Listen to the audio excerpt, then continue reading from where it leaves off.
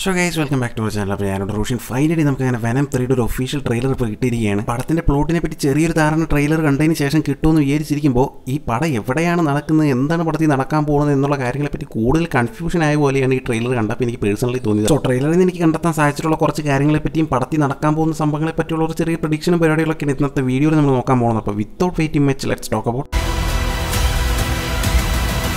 so ട്രെയിലറിന്റെ തുടക്കത്തിൽ തന്നെ നമുക്ക് കാണാനായിട്ട് സാധിക്കുന്നത് നമ്മുടെ നോവേ ഹോമിൽ കണ്ട സീനിന്റെ അതായത് പോസ്റ്റ് ക്രെഡിറ്റിൽ നോവേ ഹോമിൽ കാണിച്ച ആ സീനിന്റെ ഒരു തുടർച്ച എന്നോളാണ് എം സി യുവിന്റെ ടൈം ലൈനിൽ നിന്ന് അപ്രതീക്ഷയായതിനു ശേഷം രണ്ടുപേരും നേരെ നമ്മുടെ സോണിയുടെ ടൈം ലൈനിലോട്ട് തന്നെ തിരിച്ചെത്തിയ പോലെയാണ് കാണിച്ചിട്ടുള്ളത്. നമ്മുടെ ഡി ബ്രോക്കിന്റെ ഡ്രസ്സ് കണ്ടാൽ അറിയാം. നമ്മൾ എം സി യുവിന്റെ ടൈം ലൈനിൽ അവസാനം ഒരു ബാറിൽ നിന്ന് വെള്ളം അടിക്കുന്ന ഒരു സീൻ കാണിച്ചിട്ടുണ്ടായിരുന്നു. അവിടെ ഇട്ടിരുന്ന സെയിം ഡ്രസ്സ് ഞാൻ ഇവിടെ ഇട്ടിട്ടുള്ളത്. സോ ഇവർ രണ്ടുപേരും കൂടെ പോകുന്നത് അവിടെയുള്ള ഒരു കാർട്ടന്റെ ഉള്ളിലേക്കാണ്. ആൻഡ് അവിടെ വെച്ച് കുറേ പട്ടികളൊക്കെ കാണിക്കുന്നുണ്ട്. അവരെ രക്ഷിക്കാൻ വേണ്ടിയിട്ടുള്ള ഒരു ഫൈറ്റും പരിപാടികളൊക്കെയാണ് അവിടെ അപ്പം നടക്കുന്നത്. സാധാരണ അടിക്കുള്ള കോൾ എത്തിക്കഴിഞ്ഞാൽ അവിടെ മൊത്തം പൂണ്ട് വിളയാടുന്നത് നമ്മുടെ വെനം മാത്രമായിരിക്കും. എന്നാൽ ഇവിടെ കുറച്ചുകൂടെ മൂളി പോയിട്ട് നമ്മുടെ വെനം സിമ്പോട്ടിന്റെ ഉള്ളിൽ നിന്ന് പുറത്തോട്ട് വന്നിട്ട് നമ്മുടെ ഇടിയും കൂടെ അടിയിൽ പാർട്ടിസിപ്പേറ്റ് ചെയ്യുന്നതായിട്ട് കാണിച്ചിട്ടുണ്ട്. ഡേ ഇത് ഞങ്ങളുടെ ഏരിയയാണ് ഇവിടെ കിടന്ന് കൂടുതൽ ഷോ വർക്കാണ് പുറത്തോട്ട് പോടാന്ന് പറഞ്ഞിട്ട് ഒരാൾ കത്തി കൊണ്ട് അവന്റെ മോത്ത് മാർക്ക് ചെയ്യുന്നുണ്ട്. നമ്മുടെ ഇടിയുടെ മോത്ത് മാർക്ക് ചെയ്യുന്നുണ്ട്. ആൻഡ് വെനം വന്നതിന് ശേഷം ആ മാർക്കൊക്കെ പോകുന്ന കാണാം. സോ ഇവിടെ നിന്ന് തന്നെ നമ്മുടെ വെനത്തിന് ഒരു എന്താ പറയുക ഹീലിംഗ് ഫാക്ടർ ഉണ്ടെന്നുള്ള കാര്യം കൂടെ നമുക്ക് മനസ്സിലാക്കാൻ സാധിക്കുകയാണ്. ആൻഡ് അടിക്ക് ശേഷം നല്ല സ്റ്റൈലിഷ് ആയിട്ട് വി ആർ വെനം എന്ന് പറഞ്ഞിട്ട് സീൻ വിടുന്നു വിചാരിക്കുമ്പോൾ അവിടെ അവർ ചെറിയൊരു കോമഡി വർക്കൗട്ടൊക്കെ നോക്കിയിട്ടുണ്ട്. പേഴ്സണലി എനിക്കത് കുറച്ച് ക്രിഞ്ച് ആയിട്ടാണ് തോന്നിയത്. വെനത്തിന്റെ ആദ്യ രണ്ട് പാർട്ടുകൾ എടുത്തു കഴിഞ്ഞാൽ അതിലെല്ലാം വി ആർ വെനം എന്ന് നല്ല ബാസായിട്ട് പറഞ്ഞു പോകുന്ന സീൻ ഇവിടെ രണ്ടുപേരും കൂടി ഒരുമിച്ച് പറയാൻ നോക്കിയുള്ളൊരു കോമഡി വർക്കൗട്ട് ആക്കാനൊക്കെ നോക്കിയിട്ടുണ്ട്. പേഴ്സണലി അത് എനിക്ക് അത്രയ്ക്ക് അങ്ങോട്ട് വർക്കൗട്ട് ആയി ഒരു പക്ഷേ ഇതിന് മുമ്പുള്ള സിനിമകളിൽ നമ്മുടെ ഫൈറ്റ് സീനുകൾ വരുമ്പോഴൊക്കെ മറ്റേ സിംബിയോട്ട് മൊത്തമായിട്ട് നമ്മുടെ എഡി ബ്രോക്കിന്റെ കൺട്രോൾ എടുക്കുന്നതും എന്നാൽ ഇവിടെ അവർ തമ്മിൽ ഒരു അണ്ടർസ്റ്റാൻഡിങ് എത്തിയത് ഒരുമിച്ച് പോകാനുള്ള ഒരു മൈൻഡിലോട്ട് മാറിയതൊക്കെ ആയിരിക്കും സൂചിപ്പിക്കുന്നത്. ആ കുഴപ്പമില്ല. നോക്കാം എങ്ങനെ വരുന്നത്. അതിനുശേഷം ഡോക്ടർ പെയിൻ എന്ന് പറഞ്ഞ പുതിയൊരു ക്യാരക്ടറിനെ കാണിക്കുന്നുണ്ട്. പുള്ളിക്കാരുടെ കൂടെ തന്നെ മറ്റൊരാളെയും കാണിക്കുന്നുണ്ട്. പുള്ളിക്കാരനെ എവിടെയോ കണ്ട പോലെ ഇല്ല. വേറെ ആരുമല്ല. നമ്മുടെ ഡോക്ടർ സ്ട്രേഞ്ചിൽ മോഡോ ആയിട്ട് വന്നിട്ടുള്ള ക്യാരക്ടർ തന്നെയാണ്. പുള്ളിക്കാരന്റെ സെയിം കാസ്റ്റിനെയാണ് ഇതിലും വന്നിട്ടുള്ളത്. എന്നാൽ പോലും ഇതിൽ പുള്ളി മോഡോ ആയിട്ടൊന്നല്ല ഒരു ആർമി ജനറൽ ആയിട്ടാണ് പുള്ളി വരാൻ വരുന്നത്. സോ ആർവൽ ടൈലർ എന്ന് പറഞ്ഞിട്ടുള്ള ഒരു നെഗറ്റീവ് ഷെയ്ഡുള്ള ഒരു ക്യാരക്ടർ ആയിട്ടാണ് പുള്ളി വരാൻ പോകുന്നത്. നമ്മുടെ വനം പോയിട്ടുള്ള ആ ബാറിലൊക്കെ പോയിട്ട് അവർ എവിടെയാണ് പോയെന്നൊക്കെ അന്വേഷിക്കുന്നുണ്ട് പുള്ളി. ആൻഡ് പുള്ളിക്കാരൻ അവരെ ചേസ് ചെയ്ത് പിടിക്കുന്ന കുറേ സീനുകളൊക്കെ കാണിച്ചിട്ടുണ്ട്. ഈ സീനുകളാണ് കുറച്ചധികം കൺഫ്യൂഷൻ ഉണ്ടാക്കുന്നത്. എം സി യുവിന്റെ ടൈം ലൈനിൽ വരുന്ന ആ ബാറിലോട്ടൊക്കെ എങ്ങനെയാണ് പുള്ളി എത്തുന്നത്? അതായത് സോണി വേഴ്സിന് എങ്ങനെയാണ് എം സി യുവിന്റെ ആ ടൈം ലൈനിലോട്ട് പുള്ളി എത്തുന്നത് എന്നുള്ള കാര്യങ്ങളൊക്കെ ഇപ്പോഴും കുറച്ച് കൺഫ്യൂഷനാണ് അത് എങ്ങനെയാണ് കണക്ട് ചെയ്യാൻ പോകുന്നതെന്ന് കണ്ടു തന്നെ അറിയണം. ഇതൊരു കണ്ടിന്യൂറ്റി മിസ്റ്റേക്ക് ആയിട്ട് വരുന്നതാണോ എന്നുള്ളതാണ് വേറൊരു സംശയമായിട്ട് മാറുന്നത്. ആൻഡ് ആർവൽ ടൈലർ എന്ന് പറഞ്ഞിട്ടുള്ള ഈ ക്യാരക്ടർ തീർച്ചയായിട്ടും നമ്മുടെ വെനത്തിന് നല്ലൊരു ടഫ് കൊടുക്കുന്ന ഒരു ക്യാരക്ടറായിട്ട് കാണിക്കുന്ന ഒരുപാട് സീനുകളുണ്ട് നമ്മുടെ വെള്ളത്തിനുള്ളിലൊക്കെ വെച്ച് ഷോക്ക് അടിപ്പിച്ച്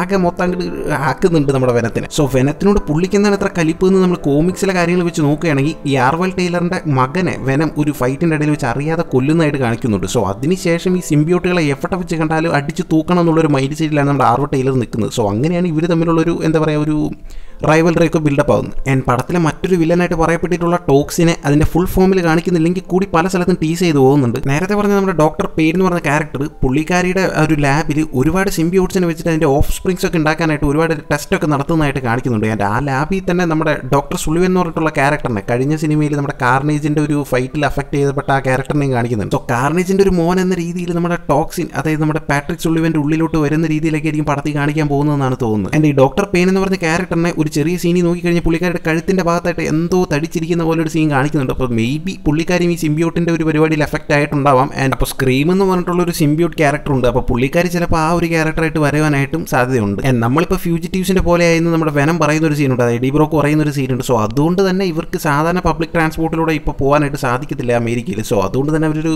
ട്രക്ക് പോലത്തെ ഒരു പരിപാടിയിൽ ഇങ്ങനെ പോകുന്ന പോലെ സീൻ കാണിക്കുന്നുണ്ട്. ഇവിടെ കേട്ട് കോണസിന് കാണിക്കുന്നുണ്ട്. അതായത് നമ്മുടെ അമേസിംഗ് സ്പൈഡർമാനിൽ നമ്മുടെ റെപ്റ്റൈലായിട്ട് കണ്ട പുള്ളിക്കാരനില്ലേ? പുള്ളിക്കാരൻ രണ്ട് കൈയോടെയൊക്കെയാണ് വരുന്നത്. സോ ഇതിൽ ആ ഒരു ക്യാരക്ടറിനെ റീപ്ലേസ് ചെയ്യുന്നതായിരിക്കില്ല. വേറൊരു വേരിയന്റ് പോലെയൊക്കെയാണോ കാണിക്കുന്നതെന്ന് അറിയാൻ പറ്റത്തില്ല. എന്താണ് ഉദ്ദേശിക്കുന്നത് മനസ്സിലാവുന്നില്ല. ഇത് ഏത് യൂണിവേഴ്സ് ആണെന്ന് പോലും പിടിയിടുന്നില്ല പടത്തിൽ ആവശ്യമുള്ള ഒരു ക്യാരക്ടറാണെങ്കിൽ അല്ലെങ്കിൽ കൃത്യമായിട്ടുള്ള ജസ്റ്റിഫിക്കേഷൻ കൊടുത്തു കൊണ്ടുവരുന്നതാണെങ്കിൽ ഓക്കെ അല്ലാതെ ചുമ്മാ ഒരു സെല്ലിംഗ് പോയിന്റ് എന്ന രീതിയിൽ ഇങ്ങനെ ട്രെയിലറിലൊക്കെ കാണിച്ചു കഴിഞ്ഞാൽ നമ്മളെ പോലെ കുറച്ച് പേര് ഇങ്ങനെ കുണയ്ക്കാനുണ്ടാവുമല്ലോ ഇത് എങ്ങനെയാണ് ഈ ക്യാരക്ടർ എന്നൊക്കെ പറഞ്ഞ് ഇങ്ങനെ ഡീകോഡ് ചെയ്യാനൊക്കെ ഉണ്ടാവുമല്ലോ. സോ അതിന് വേണ്ടി മാത്രം യൂസ് ചെയ്യുന്നതാണെങ്കിൽ ഇത് ഒരു ചീപ്പ് ഏർപ്പാടായിട്ട് തോന്നുന്നു. ആൻഡ് ഇപ്പോൾ ഒരുപാട് പേര് പറയുന്ന മറ്റൊരു കാര്യം എന്താണെന്ന് വെച്ച് കഴിഞ്ഞാൽ ഇതിലൊരു ചെറിയ കുട്ടിയെ കാണിക്കുന്നുണ്ട്. ആ ഒരു ട്രക്കിന്റെ ഉള്ളിലായാലും കാണിക്കുന്നുണ്ട്. അതിനുശേഷം നടക്കുന്ന ഒരു ഫൈറ്റ് സീനിൽ ഒരു ലാബ് സീനിൽ ഒരു ഫൈറ്റ് സീനിൽ ആ പയ്യനെ കാണിക്കുന്നുണ്ട്. സോ ആ പയ്യൻ ഇപ്പം നമ്മുടെ പീറ്റർ പാർക്കറിന്റെ ചെറുപ്പമാണെന്നും പറയുന്നുണ്ട്. ഡേ ഡേ ഇത് എങ്ങോട്ടേ പോകുന്നത്? എന്തായാലും അങ്ങനെയൊന്നും ആവാതിരിക്കട്ടെ എന്ന് വിചാരിക്കാം. ഈ പടത്തിന്റെ മുമ്പത്തെ ഒരു പ്ലോട്ടിലേക്ക് വന്നിട്ടുണ്ടായിരുന്നു. സോ ആ പ്ലോട്ടിലേക്ക് പറയുന്നുണ്ടായിരുന്നു നമ്മുടെ വെനം നമ്മുടെ സ്പൈഡർമാന്റെ ചെറുപ്പത്തിൽ ഒരു ഫാദർ ഫിഗർ മൂഡിലോട്ടൊക്കെ പോകുന്ന മാതിരിയൊക്കെ എഴുതിയിട്ടുണ്ടായിരുന്നു എന്ന് പറയുന്നുണ്ട്. അങ്ങനെയൊക്കെ വന്നു കഴിഞ്ഞാൽ ഭയങ്കര ഓക്കോഡായിട്ട് തോന്നുന്നു അതൊക്കെ. ഇവിടെ തന്നെ ആ പയ്യന്റെ കൂടെ രണ്ട്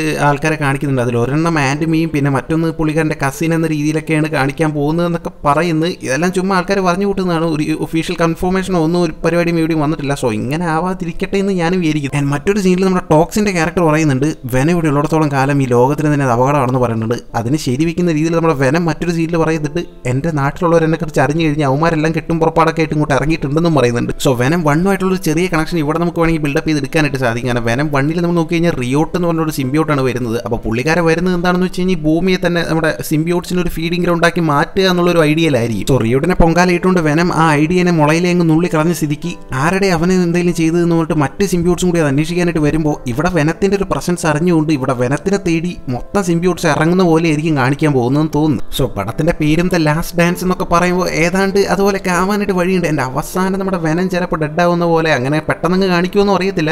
ഒരു ക്ലൈമാക്സ് സീനിലായിട്ട് കാണിക്കുന്നുണ്ട്. ഒരു ഹെലികോപ്റ്ററിനുള്ളിൽ നമ്മുടെ ടോം ഹാർഡിയുടെ ക്യാരക്ടർ അതായത് ഇഡി ബ്രോ കരയുന്ന പോലെ കാണിക്കുന്നുണ്ട്. ചുറ്റും തീയൊക്കെ പിടിച്ചിരിക്കുന്ന കാണുന്നുണ്ട്. തീ എന്ന് പറയുമ്പോൾ നമുക്കറിയാലോ വനത്തിന്റെ ഒരു ഓപ്പോസിറ്റ് പരിപാടി. ഞാൻ പടത്തിന്റെ ഒരു ടാഗ് ലൈൻ ആയിട്ട് നോക്കിക്കഴിഞ്ഞാൽ till death do they part എന്നൊക്കെ ചോദിക്കുന്നുണ്ട്. സോ അവസാനം മരണത്തിലെങ്കിൽ ഇവർ പിരിയോ എന്നുള്ളൊരു രീതിയിലൊക്കെ ഒരു ഐഡിയ മുമ്പോട്ട് വയ്ക്കുമ്പോൾ തീർച്ചയായിട്ടും അങ്ങനെ ഒരു വെയർ വനത്തിനൊരു ഫെയർവെൽ പോലെയൊക്കെ കാണിക്കുമെന്ന് അറിയത്തില്ല കണ്ടറിയാം. ആൻഡ് മൊത്തം സിംബ്യൂട്ട്സും ഈ ഭൂമിയിലോട്ട് ഇറങ്ങുന്ന സമയത്ത് ഈ സിംബ്യൂട്ട്സിന്റെ ഒക്കെ തലവനായിട്ടുള്ള നമ്മുടെ നെള്ളെന്ന് പറഞ്ഞ ക്യാരക്ടറിനെ കാണിക്കുമെന്ന് ചോദിക്കുമെങ്കിൽ ചാൻസ് കുറവാണ്. കാരണം ഇത്തരം ഒരു സിനിമയിൽ ഒരു ചെറിയൊരു ക്യാരക്ടറായിട്ട് മാത്രം നെള്ളിനെ കൊണ്ടുവരാനായിട്ട് കാര്യം ഇല്ല. ഒരു താനോസ് ലെവൽ ഒരു വില്ലൻ തന്നെയാണ് പുള്ളിക്കാരൻ. സോ അതുകൊണ്ട് തന്നെ വലിയൊരു സ്കെയിലിൽ പടം വരുമ്പോൾ മാത്രമേ പുള്ളി നടക്കാൻ സാധ്യതയുള്ളൂ. ആൻഡ് ട്രെയിലറിന്റെ ക്ലൈമാക്സിൽ നമ്മുടെ ഒരു കുതിരയുടെ ഉള്ളിലോട്ട് നമ്മുടെ വെനം കയറുന്നതായിട്ട് കാണിക്കുന്നു ആ സീൻ എന്തായാലും ഒരു അടിപൊളി സീനായിട്ട് തോന്നി. ആ ഒരു വെനം ഫോം എന്തായാലും അടിപൊളിയായിട്ടുണ്ടായിരുന്നു. ആർ റേറ്റഡ് ആയിരിക്കും ആർ റേറ്റഡ് ആയിരിക്കും പടം ഒന്ന് ചിന്തിച്ചിരിക്കുന്ന സമയത്ത് അവർ റണ്ണാക്കിൽ അടിച്ചുകൊണ്ട് പടം പി ജി തേർട്ടിയിൽ തന്നെയാണ് ഇറങ്ങുന്നതെങ്കിൽ പോലും ഒരു പരമാവധി ആർ റേറ്റഡിലോട്ട് പുഷ് ചെയ്യുന്നുണ്ടെന്ന് പല സീനുകളും കണ്ടിട്ട് തോന്നിയായിരുന്നു.